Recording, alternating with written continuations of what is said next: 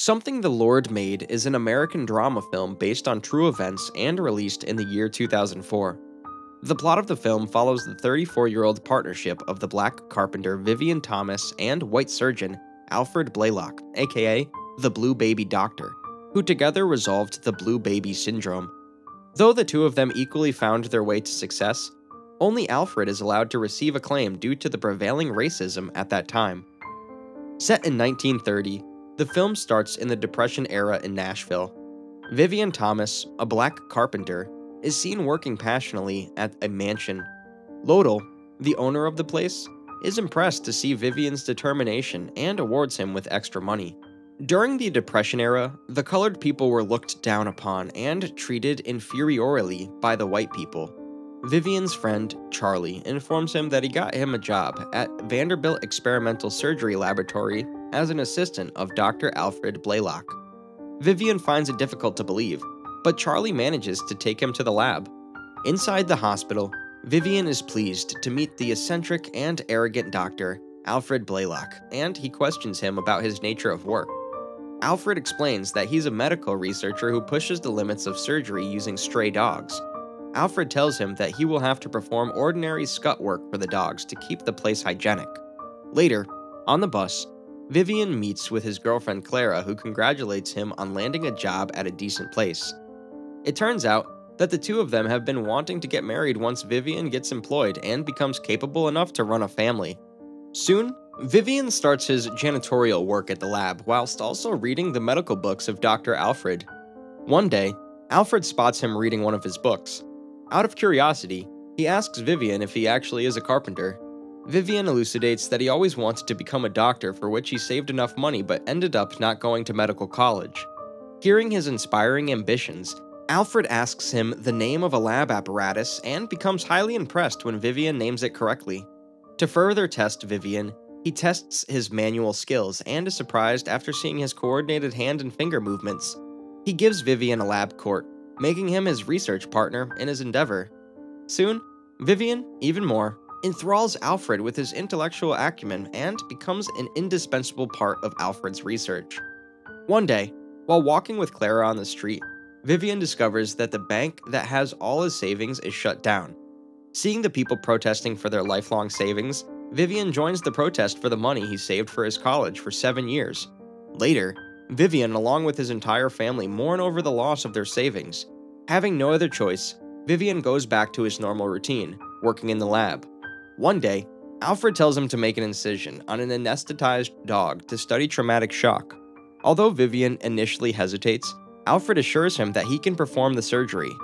Vivian successfully pulls through, but at the end of it, Alfred loses his temper after he finds out that Vivian did not turn on a smoked drum that is supposed to record the observations. Out of frustration, he bursts onto Vivian for wasting his entire day of research. Vivian feels dejected and leaves the lab. However, just then, Alfred notices his notebook in which Vivian has noted down all the steps and observation in utmost detail. Embarrassed, Alfred rushes to Vivian apologizing for his harsh attitude and assuring him that it will never happen again. The film then transitions to 1943 when Alfred and Vivian move to Baltimore from Vanderbilt to Johns Hopkins. Alfred holds a party to celebrate the best surgeons in the country and makes a motivational speech to accomplish great things together. It turns out that John Hopkins is a kind of institute where the only black employees are janitors and where Vivian works as a bartender. During the party, Alfred runs into Dr. Helen Taussig, a well known pediatrician who brings to light the issue of congenitally malformed hearts that has been written off as untreatable for years. She suggests that the congenital heart defect of tetralogy of Fallot, also known as blue baby syndrome, can be treated. In simple terms, it's the blockage in the main artery to the lung which causes the babies to suffocate to death. While other doctors contemplate whether or not the syndrome is curable, Vivian keeps releasing clauses of his imagination to Alfred, leaving Helen bewildered. After the party, Vivian returns home to his wife and daughters. Clara does not like the city and insists on moving back to Nashville. Vivian explains to her that he cannot give up the opportunity to work with the top surgeon in the country at a reputable hospital and requests her to let him live his dream. On his first day of work, Vivian is asked to enter the lab from the rear entrance as all the black employees enter from there. Although Alfred protests against it, the security clarifies that the rules can't be bent for anyone. As Vivian enters the lab from the back door, the hospital staff is perplexed to see him in the white coat. While clearing out the lab for Alfred, the director of the laboratories is agitated to see Vivian in the lab and humiliates him by ordering him around as if he's a T-boy. Vivian denies complying, making him even more furious. Later, Vivian and Alfred meet Helen, who challenges them to come up with a surgical solution to treat the blue baby syndrome. She elucidates that she needs a new ductus for the babies to oxygenate their blood. Vivian and Alfred feel pity to see the innocent kids admitted to the hospital for this particular syndrome, which makes them determined to take this task on. After spending days on theoretical research, Alfred decides to start the experimental work on a dog by deliberately creating a heart defect in it and then working towards finding a cure. He tells Vivian that since he's busy with a lot of surgical cases, Vivian will have to do a major chunk of work on the blue baby cases. At night, Alfred spends time with his colleagues playing snooker. His friends ask him why Vivian is so dear to him, to which Alfred describes that he has been working with him for 12 years and has a cooperative relationship with him. They also talk about the rumor circulating that Alfred is contemplating doing heart surgery. They try to demotivate him and relish the thought of seeing him fail, but to their surprise, Alfred does not back out but instead tells him that he will somehow manage to come up with a solution. After spending all day working tirelessly at the hospital, Vivian returns home and mends the household accessories of the landlord to cover his rent. A few months into the research, Alfred expresses frustration for not coming up with a solution. Seeing him discouraged, Vivian fetches a respirator from a machine shop, which makes Alfred excited.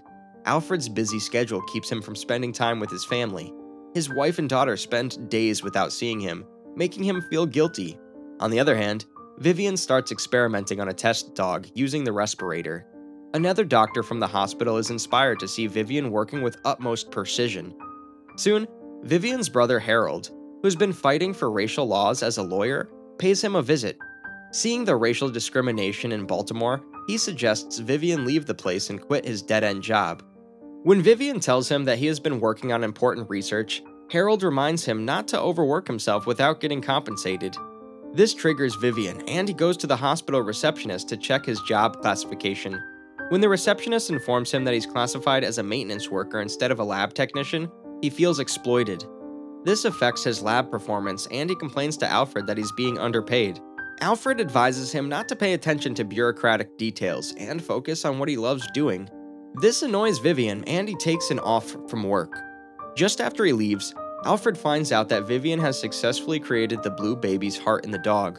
Puzzled, he discusses with his wife what he should do to satisfy Vivian, to which she suggests sending him to medical school.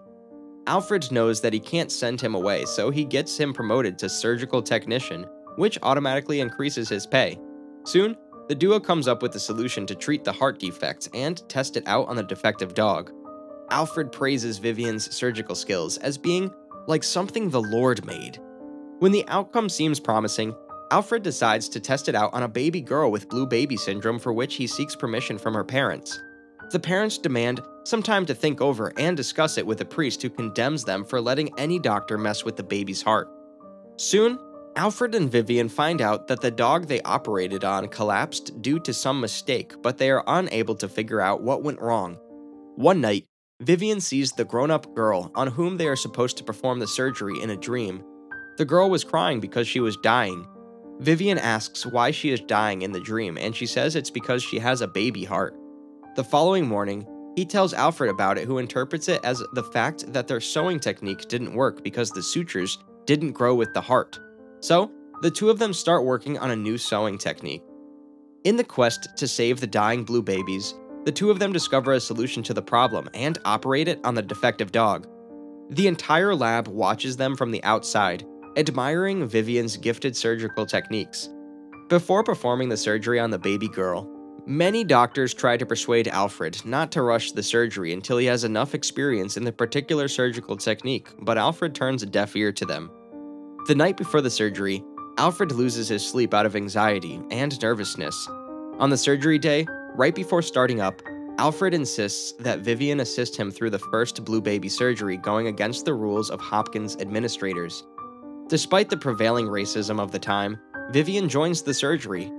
During the surgery, Alfred makes a mistake once by unintentionally cutting an artery in the wrong place, but with Vivian's assistance, he fixes his mistakes and completes the surgery. Soon, the news of the successful surgery spreads like wildfire, and parents from all across the country arrive at the hospital to book an appointment with Alfred to get their sick children treated. Along with that, doctors from around the world start attending the surgery to learn how to do the surgery themselves. While Alfred is publicly acknowledged for the success, Vivian is left out as he does not hold the title of a doctor. Seeing Vivian dejected, Clara consoles him but is unable to eradicate his feeling of void. One day, Vivian attends Alfred's parties as a bartender where Alfred is honored as the first doctor to successfully perform heart surgery. As Alfred makes a thank you speech, Vivian watches from behind a potted palm at the rear of the ballroom. He feels miserable when Alfred gives credit to all the other doctors who assisted in the work, but does not mention Vivian or his contributions. Heartbroken, he returns home, thinking all his efforts went away in vain. The following day, he submits his resignation letter to the office due to a lack of acknowledgement. When Alfred finds out about it, he confronts Vivian, who reveals that he snuck into his party the other night and listened to his speech. Alfred persuades him to make use of his gifted hands and make a change in the world, but Vivian knows that he will always remain invisible to the world, so he quits the lab. Desperate to get the degree quickly, he heads to a college and discusses with the dean to allow him to complete his studies earlier than the usual duration. He mentions that he was part of the groundbreaking research on the blue baby syndrome, but despite that, the dean refuses to let him graduate early. Seeing no other option, he starts a job as a salesman for a pharmaceutical company to make a living. Sometime later, he goes back to Nashville to his parents, where he realizes that he's unable to focus on any other job since his heart is still in the lab. Clara encourages him to be where he belongs and go back to Hopkins. Embarrassed, Vivian swallows his pride and goes back to Alfred to continue working in the lab. He requests Alfred to assign him his old position and expresses his love for the work he did. The film transitions to 1964, when Vivian becomes the director of the laboratories. He's now become a professional surgeon and trainer in open heart surgery. Alfred asks him to assist him with a new opportunity that Columbia has offered him, but Vivian turns it down as he feels fulfilled with the job he does, which is working with young doctors. Alfred seems disoriented and makes vague statements about his regrets in life before leaving for home. The next morning, Helen informs Vivian that Alfred passed away in his sleep at night. Disheartened, Vivian continues Alfred's work at Johns Hopkins teaching surgeons. In 1976, the Institute recognized Vivian's contributions to medical sciences in a formal ceremony and awarded him an honorary doctorate degree based on his groundbreaking work. Clara and Harold, along with all the other doctors, applaud Vivian in the auditorium. Vivian, who's not accustomed to being in the limelight, feels overwhelmed by the love and acknowledgement and thanks his family and friends for being his backbone. Helen unveils the portrait of Vivian, and he's even more moved to see it. The film ends with Vivian getting emotional after he looks over his portrait being hung on the walls of John Hopkins next to Alfred's portrait and the receptionist, referring to him as Dr. Vivian Thomas over the speaker. An epilogue states that the Blue Baby Syndrome operation pioneered at John Hopkins opened a new field of heart surgery. Today, doctors in the United States perform over 1,750,000 heart operations per year. This movie has a rating of 8.1 on IMDb. I hope you all liked this video. If yes, then make sure to like, comment, and most importantly, subscribe to the channel for more movie recaps.